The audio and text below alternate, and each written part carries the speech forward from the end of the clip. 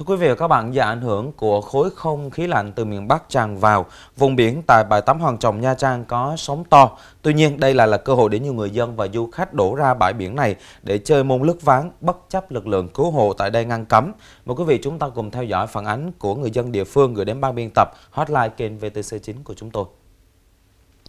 Trước những con sóng rất to dồn dập đổ vào bờ, nhiều người dân và du khách nước ngoài đã kéo nhau ra bãi tắm Hoàng Trọng để chơi môn lướt ván, mặc cho nhân viên của lực lượng cứu hộ cứu nạn tại đây liên tục ra ngăn cấm, kêu gọi người chơi phải đi vào bờ. Dù môn lướt ván được coi là thể thao mạo hiểm khi người chơi liên tục cưỡi trên tấm ván, lướt trên sóng cao. Tuy nhiên do sóng biển rất to kèm theo gió mạnh đã khiến cho nhiều người chơi bị ngã và dù ờ, người chơi rất thành thạo về bơi lội nhưng cũng không tránh khỏi được những sự cố có thể bất ngờ xảy ra.